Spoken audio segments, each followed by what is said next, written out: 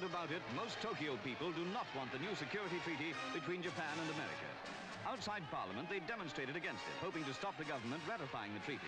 It gives the U.S. bases 10 more years to stay in Japan. In the early 1960s, the Japanese government was in the process of renewing the post World War II treaty that permitted the United States to maintain a military presence in Japan. It was a time of immense social upheaval. The youth of Japan especially gave impassioned and aggressive attempts to prevent the renewal. These were the Ampo protests, and at their climax, hundreds of thousands of people would gather outside of Tokyo's National Diet Building every day to protest. Despite this, the speaker was dragged, literally dragged, into his seat and the accord was passed. The protests failed. And as all this was going on,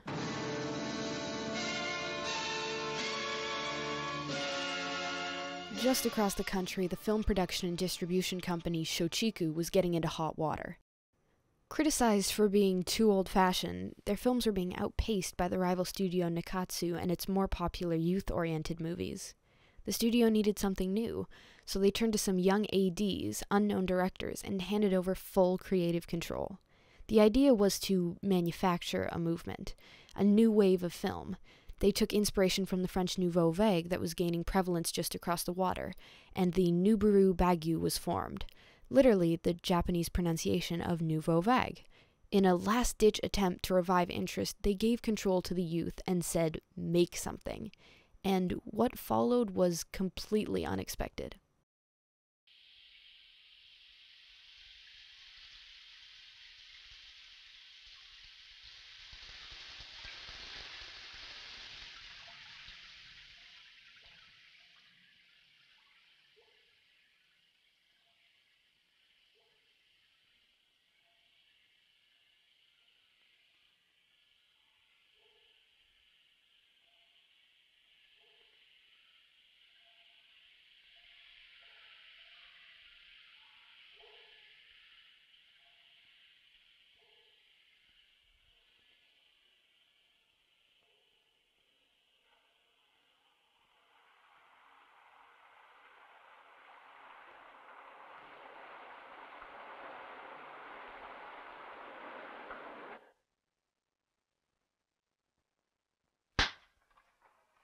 あのね、どう見てもね、本当の女のしか見えないけれどね、あのいつ頃からこのこの世界へこの足を突っ込んだんですか？ええ、あの4年ほど前です。4年ほど前。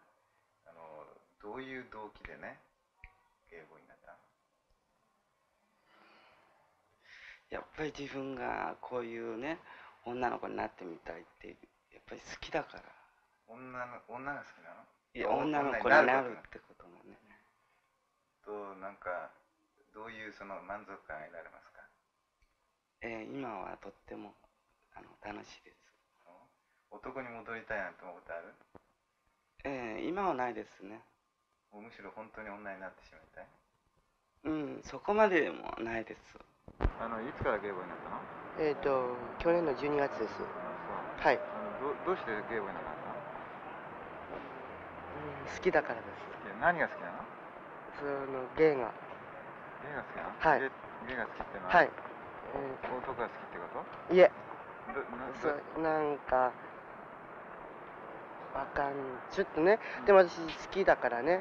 あの芸が好きだから。ゲイってゲイボーイが好きだってはい。どどうして好きになったの？生まれつきですね。生まれつき。はい。What you just saw is an unedited clip from the film Funeral Parade of Roses, Released in 1969 and directed by Toshio Matsumoto, it follows the life of a young transgender woman living in Tokyo with her friends. The film showcases topics like drugs, sex, freedom, all interspersed with real clips of the cast being interviewed about their sexuality and gender identity. It is raw, honest, and explicit. Sorry, wait, how did we get from here to here again? Hear me out. The failure of the AMPO protests had led to many young people experiencing a growing disillusionment with Japanese society. Amidst the political and social turmoil of the times, these new filmmakers found a way to communicate and translate the struggles they were facing. Both directly and indirectly, they used their films to react to the emerging ideologies and reflect on society as a whole. What started as a studio endorsed project, the Nuberu Bagu quickly spiraled past the confines of a single studio. It became an umbrella term for the themes and mood of Japanese films at the time. New wave Japanese films were subversive, explicit, challenging. They took everything that had come before and threw it away with a decisive severity. Hiroshi Teshigahara, Nagisa Oshima, Shohei Imamura, Seijun Suzuki, these new directors explored ideas and concepts previously untouched by the more traditional Japanese cinema.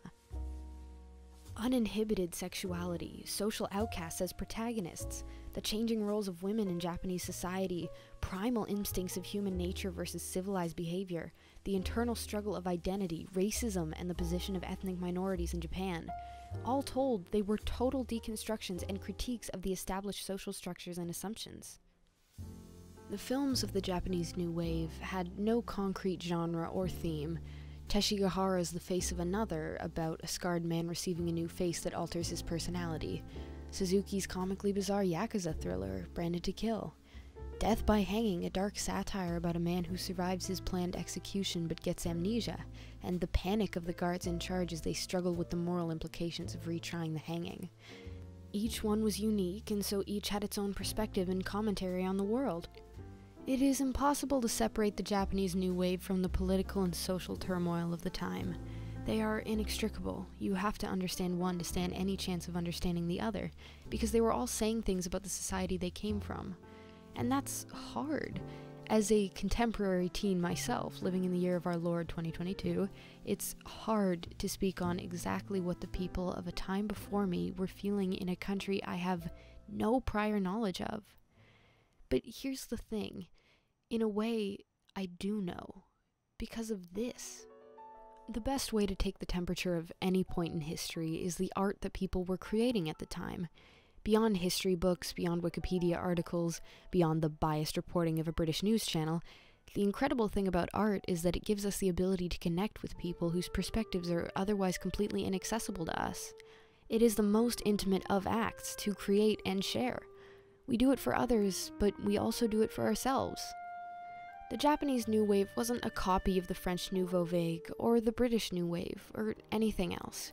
All around the world, populations were still recovering from the Second World War.